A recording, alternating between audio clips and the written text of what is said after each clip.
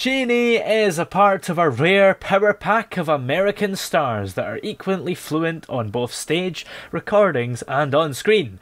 And she's here with us now. How are you today? I'm great, thank you. How are you? I'm doing great today. Now, you've released a new single called Light of the World. Yes. What's that about? Well, it's a holiday song. It's something I wrote um, just to kind of capture the feeling of the holidays. Mm. Uh, I didn't make it really that specific as far as that it had to be kind of for one specific holiday because I know people practice uh, different, uh, have different holidays ar- around this time of year, but Yeah. um, I just wanted to capture the feeling, you know. Um, it's called Light of the World because obviously this is the time of year when all the lights and candles and Mm. everything are a big part of it. And there's just a magical feeling. So I wanted to kind of, you know, reflect that. Yeah, and what sort of stuff did you write about in it? Because typically Christmas songs will have stuff to do with Christmas, but because it's a generalized holiday song, what type of lyrics are there? I used I used some metaphors, you know, Mm. like there's a place um, that I said, uh, "See Christmas through eyes of a child." Yeah. Um, the lyric goes, uh, "Enchanted with wonder and smiles, um, see marshmallow snow falling." Yeah. Sleigh bells and joy, that kind of idea, you know, that's really more about visuals. yeah, absolutely. How long did it take you to write the song then? Um, I wrote it pretty quickly. I mean, I had some ideas, actually, believe it or not, um, several years back, I had some ideas for this, but I never really fully fleshed it into a complete song until um, I would say October of this year when we were in kind of our quarantine. Yeah. And I just had it upon me to sort of put something out for the holidays.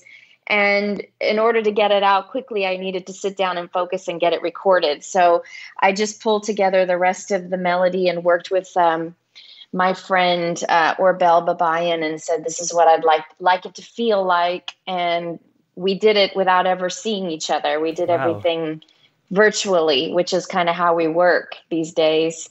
Yeah. So we just, you know, did it all over the phone and internet. How hard or easy was that to work apart? You know, I've I've been doing this since March. Um, Hmm. I'm I'm literally completing an album as we speak, and everything I'm doing is virtual. Um, I think it's just important to find a way to communicate. Um, Yeah. I'll send references of sometimes um, sounds if there's a sound I really like, uh, like a bass quality or particular feel of something. If I want to go for like a vintage style, I'll Yeah. send some references, and we kind of have that. We develop that kind of language. Yeah. Um, and it's, it's it's it's interesting. It's it's really interesting. Yeah, if there was ever a time to go through a pandemic where we can't really leave our house, it's these days. it really if it is. happened in 1977, there would be no way any music would get released. Oh, it's so true. I mean, we're really fortunate because I have a, you know, I have a small studio set up in my home and I don't know what I would do yeah. if I didn't have this opportunity, you know, to express and write about things and be able to reach out to my Mhm. friends and say this is what I'm working on and we do it, you know. I mean, it would be you're right, absolutely right. Yeah. It would be a very different experience. Did you have to learn how to do a lot of the technological stuff yourself, or were you already familiar with that? no. No. I i um i have i have limited capacity with technology but i have some really good friends and um and helpers that guide me when i'm stuck. So uh but you know what? In a way it's been good because like for example with the with the program we record on which is called pro tools um, Hmm. I had a very limited capacity with it. I always was the one that was like, I don't want to be bothered with it. I'll just be writing and singing, and you know, I don't want to be bothered with engineering. Now I engineer all my own sessions. I I can sit down, record all my own vocals, and and comp them, and you know, email it to the engineer and stuff. So. In a way, it's been a blessing because I was forced to learn it, which I was resisting before, you know?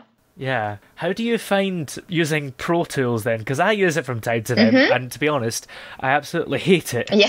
Have you managed to figure yourself around it? Well, again, I'm I'm primarily just recording and editing, mm. um, and not much more than that. I don't mix. Um, I just get the tracks in a position where they can, you know, be imported by my engineer yeah. who's mixing. Um, so I'm not that sophisticated, but and I do get stuck. Certainly, I mm. get stuck um, from time to time, and I have to call for help. But um, but I, I like the independence of it. To be honest with you, before yeah. I would I would bring the engineer to my house and say, you know, can you sort of sit there while I'm recording or I just didn't want to be bothered, you know. I didn't want to have to I was in a flow and I didn't want to have to worry about pushing buttons while I was singing. But now I've kind of learned to appreciate it because if I have a part in my head, I really want to get it down. Doesn't matter what time of day or night, I just run in there and do it, you know? Yeah. Are you able to figure out problems? Because I've got a problem with Pro Tools where the sound is only coming out of my monitor, my computer monitor, rather than the headphones that are plugged into my computer. Oh, that's definitely something beyond my skill. I would say that's one of those times I get on the phone and say, What is going on? Please help me figure this out. Yeah. Um, sounds like it's a, a wiring or a, a busing issue, but I don't know how to describe that. I wouldn't know how to troubleshoot that. Yeah. See, I know exactly how to change the output, but when I do, it says you have to close the program and reopen it again. Yes. And then it just goes back to what the output was before. Uh oh. Yeah. Yeah. See, that's when I don't get it. Those are things I don't understand either. Like, when when uh, the computer needs to just be restarted or the program needs to quit. Or the other thing I have issues with is, um, of course, this is really more about a setup. But like when you try to mm. save a session and it goes into the wrong folder, and then I can't find what I was working on, and it's inside of another song. I'm like, how did that happen? How did it get inside the other song? I didn't tell it to go there, but yeah so there are some yeah. moments that gets frustrating. Yeah absolutely. So how did it all start for you? What was the moment that you realized music was the thing for you? Well i was kind of born into it and i just say that because my father loved both my parents but my mm-hmm. father loved music and had a great album collection and i mean albums as in like the 12 inch yeah. you know records. And remember them. Exactly and had a great collection in the house and had the turntable and the whole thing. And so i was brought up around really good music and he was also a drummer. He didn't play full time professionally. It was more of a hobby but he did play mm. for a few artists here and there. Um, but living where we lived, which was in a, uh, a southern state in the U.S. called Arkansas, yeah. um, he didn't have a lot of opportunity to pursue it for as a career. So um, I would sort of sit, kind of like if he was behind the drum kit, I would kind of sit on his lap in his knee with on his knees, and I could yeah. kind of mimic the kick and the and the hi hat, and then I put my hands on his hands where he would be playing and i'd you know be sort of pretending to play the drums. Um, and i think i developed a strong sense of rhythm honestly at probably the age of two. Wow. Not that i pursued playing drums um, but i just really had a you know well versed sense of rhythm hmm. from from sitting behind the drum kit with him. And then because he had great taste in music i just um, i feel like i had good strong influences uh, from the get go. Yeah. I was never able to do the bass, the snare, and the hi hat at the same time. Yes. My brain can't do that. Yeah, I, I think drumming is a really unique, you're right. I think it's a certain thing in the brain that some people really, it comes naturally. Um, mm. like I said, if I try to sit behind the drum kit now, I mean, there's a few patterns I can play, yeah. but I have to really focus on that. And it's not my strong suit but I can feel it. I can feel it, and my ear understands it, um, and I can feel it. You know, but but my brain is more melody driven. So yeah, I think most people's probably are. Yes. Yes. And you mentioned Arkansas as well. Yes. How come it's pronounced Arkansas when Kansas is Kansas? I can never understand that. I have no idea. I have no idea. I've never understood it myself growing up there. Yeah. But you know what they call people that are from there is an Arkansan. Okay, that's just it. even so, more confusing. Right. So if you're from there, you're an Arkansan, which is you know, going along with the Kansas part. But, yeah. you know, and it's all derived from Native American words and, mm. you know, a lot like Oklahoma and all of those regions, you know, they're all kind of coming from Native American words. But I have no idea why it was it was decided that let's call it Arkansas, you know. I guess it's just one of those name evolution things. Like maybe it used to right. be spelled how it sounded and then right, somebody made a mistake right. and spelt it like Kansas. I don't know. Exactly. I don't know. I I don't know if there's a relationship or not. Hmm. It's it's very it's mysterious. Yeah, it was like Kansas, but there was an arc there. maybe, maybe, yeah, maybe Noah's Ark landed there at some point in time. Yeah. Although Arkansas is landlocked. Although I suppose a flood wouldn't make a difference, would it? No, there's a river though. There's a river um, from the Gulf of Mexico that runs up. Yeah, there's a the Mississippi River runs alongside. Yeah, yeah. So technically, there is a water source. Yeah. And, you know, if the whole world was flooded because of the whole Noah's Ark story, it wouldn't make a difference if you're near the sea or not, I suppose. That's right. I don't. I doubt that that would be the one place that the ark would land. I think it's uh, supposedly it landed somewhere in Armenia, in the in the country of Armenia. I happen to I happen to follow that. Fascinating. Mm-hmm. I mean, I've seen. Is it Evan Almighty, the one with the ark? Yes, I think so. Yeah. Yeah, I think so. That's as far as my knowledge of the story goes, and I think that's set in America. So. that's right. Yeah and of course, none of us were technically alive to really see it, so I don't know for sure. No, not many people were alive, I don't think. right. There's probably some species that's lived long enough who was one of the two by two animals. That's right, and they've passed it down in their in their language. Yeah. Do you have any musicians that you look up to when you make music and you think, I want to aspire to be like them? Oh, there's so many. Yes, there's so many. Um so many. I mean, it keeps me completely humble as well because if I say their names, to me, it's just like really, you know. Yeah. But um, yes, I mean, probably immediately the people that come to mind are like um, I would say Stevie Wonder.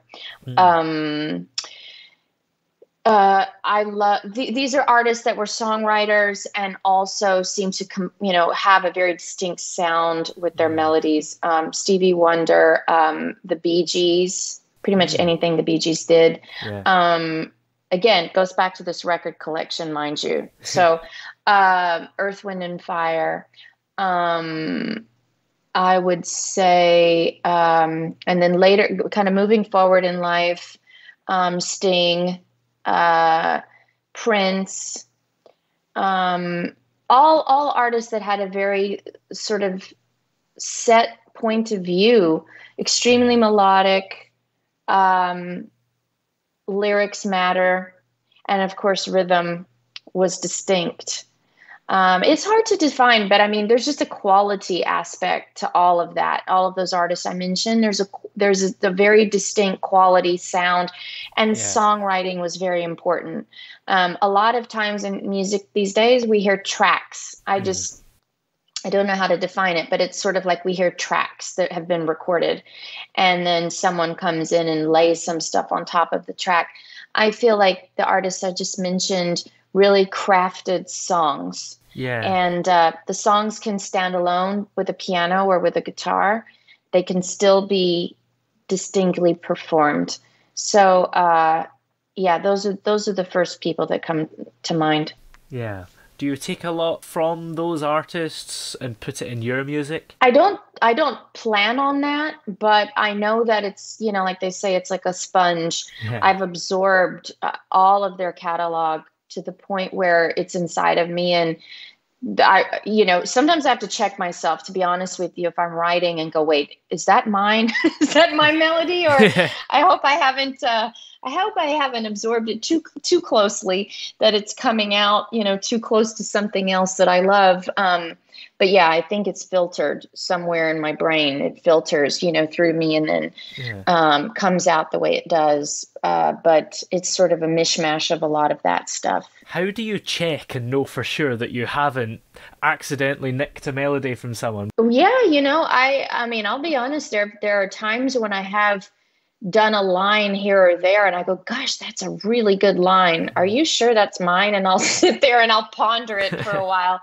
And then I'll realize, nope, nope, that's that came from another song, you know?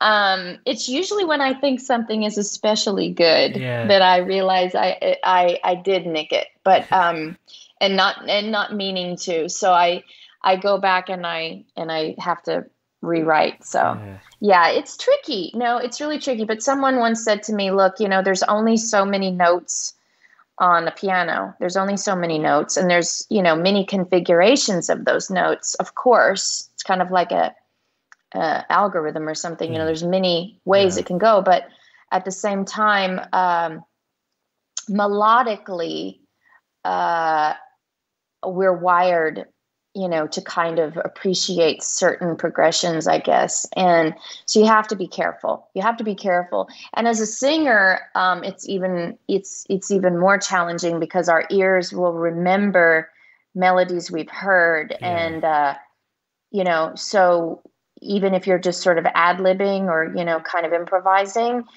you might find that you're mimicking things that you've heard before. Yeah. and i don't i'm not a big fan of that. So I try not to do it. Mm-hmm. Um, I'll throw things in every now and then that are familiar, but I, I I try to steer clear from that too. Yeah. Do you constantly live in a bit of fear that someone's going to approach you and go, "You stole that line from me"? Oh, most definitely. Well, you know, right now the interesting thing is on my album, I'm I'm very interested in the the throwback sound. So some of those artists I mentioned to you mm. um, that might have been, let's say, in the late '70s, early '80s.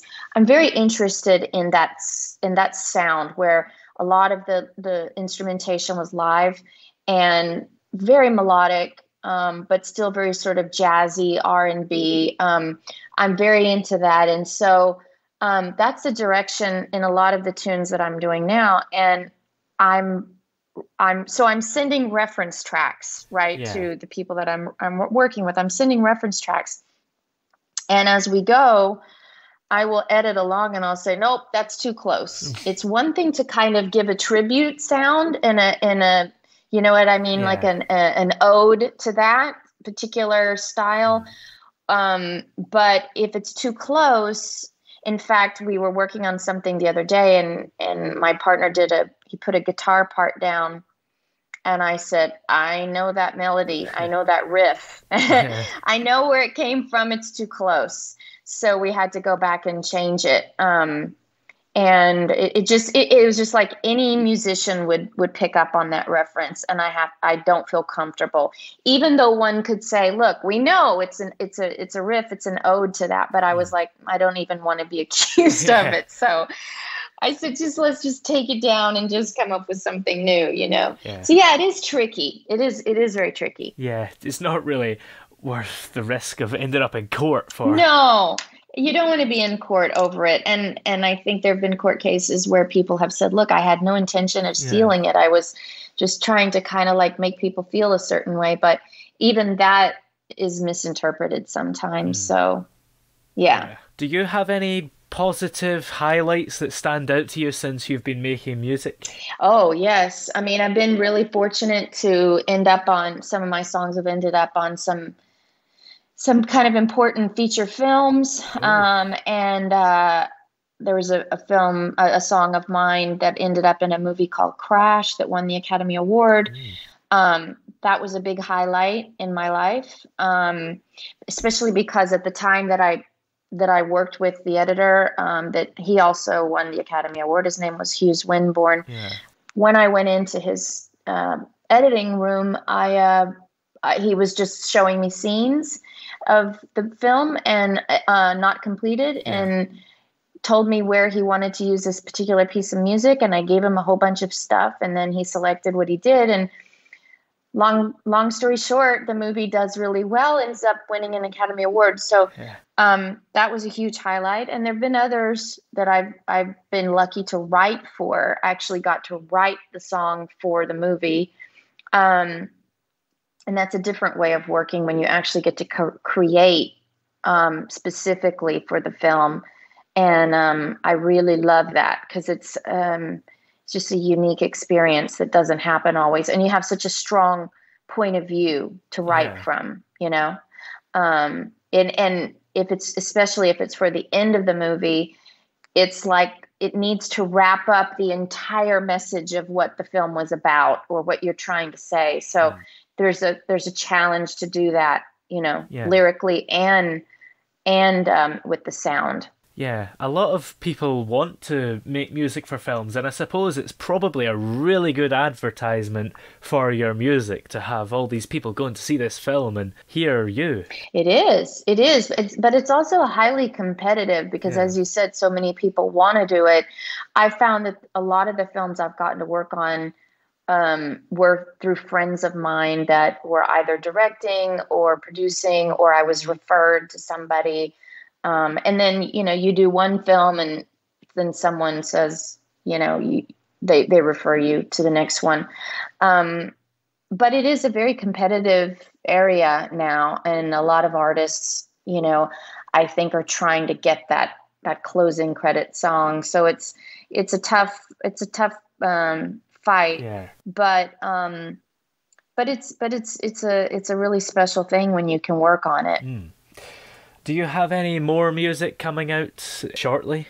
I do. I'm I'm I'm kind of I'm kind of you know juggling in my head what the next single should be because yeah. I released I released one single in October called Changing Tides and then I came out with the holiday song with Light of the World and Light of the World obviously won't be on the album, but I but the next thing that I'm going to release will likely be in January or February. Uh, and I just can't decide which single it should be oh. because I'm going to release the full album. Uh, what's looking like probably end of March, early April, um, and I want the next single to be something that kind of leads you in to where the album is is headed. Yeah. I have an idea which one it's going to be, but I I don't want to say in case I change my mind. I've got to decide pretty soon. By the end of the year, I have to decide. So oh, I have a couple more then. weeks. Yeah, yeah, I have a couple more weeks to decide because I have to turn in turn in the single. So yeah, um, yeah, but it, it's likely going to be you know early February when it comes out. Awesome. And are you doing anything special this Christmas or any holiday season that you may celebrate? So we're here in LA and we're in full on lockdown oh. again um, with the pandemic, yeah. and it's pretty bad here right now. So, you know, I'm trying to play my my part and literally not go anywhere. I think yeah. we're, you know, we're at the height of in in in the US it's like California and specifically where I am in the LA area is probably the worst. So uh, I'm just hanging tight at home. I'm hoping to get to be with my family in a couple of weeks. Um, because we will be quarantining, yeah. I, I, think you know it might be safe to be with just my parents. Um, but again, we're just playing it by ear. We're going to make sure that you know they let us out so yeah. i'm trying to respect trying to respect all the healthcare workers i have some friends that work in the healthcare and i'm so grateful to how hard they work and mm. i just don't want to make their lives any harder you know yeah. by being out on the road and mingling and stuff yeah. so Absolutely. Well, where are we able to have a listen to your latest single and all the other music? Well, if people want to go to my social media, which is Shani Rigsbee, uh, it links to all of my um, my my you know YouTube channel, which is Shani Music, S H A N I Music, and um, yeah, usually YouTube is an easy way to find whatever I've just released and my social media will kind of keep people updated on what I'm working on and what I'm doing. yeah. Well, thank you very much for joining us today, Shani. Oh, my pleasure. Thank you for talking with me. It's been a lot of fun and and I and I wish you well on your technology. yeah, thank you.